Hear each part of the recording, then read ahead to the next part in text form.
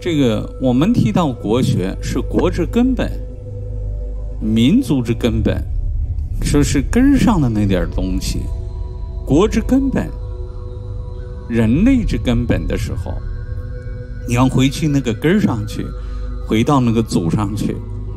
所以说，我们今天在冬至日，我们叫认祖归宗，大家一一定从一个高度上。不是是有肉身的认祖归宗，乃是灵魂深处的认祖归宗。不是说我爹是谁，我爷爷是谁，我的太爷爷是谁，我的外公是谁，我的太外公是谁？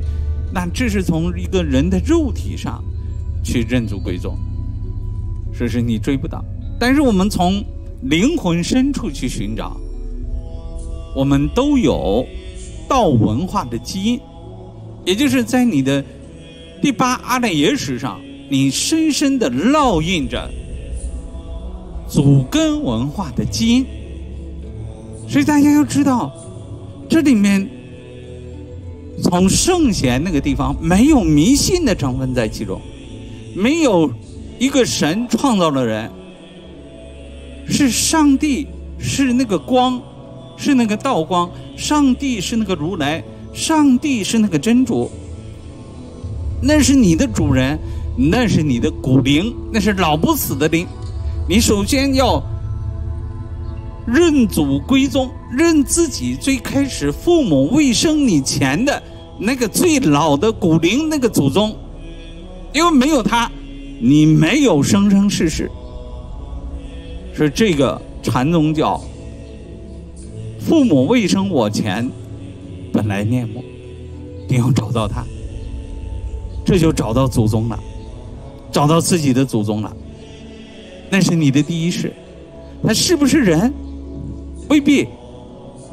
千百世来的轮回生死，你的第一世未必是人，你可能是天人，你可能直接就是一个蚂蚁那么个小昆虫。你也可能是一个鹿，也可能是地狱里的一个众生，也可能是畜生道的一个众生。大家要知道，是时候觉醒了。我们处在一个特殊的时空，也就是我们临近了这一个两千五百年的这个时空的开启。冬至是一年的开启，这一天十分之重要。冬至大如年，比春节重要的多。为什么这样定呢？之前给大家讲课提到过，我们天气下降，地气什么生生，万物生焉。那么我们今年的冬至，刚才提到了子和子时，实际上如果按照古代冬至是年的话，这个年在冬至就结束了。我们希望一阳生之后，所有的灾难都化掉了。掌声一下！